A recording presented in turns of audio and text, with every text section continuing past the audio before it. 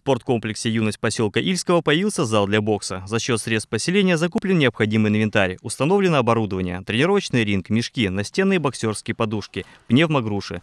Тренироваться в зале смогут дети от 9 до 10 лет. Занятия проводит опытный тренер Владимир Воронин. Приглашаем детей в возрасте от 9 лет для занятий в секции бокса. Тренировки проводятся понедельник, среда, пятница 15, с 17 и с 19 часов.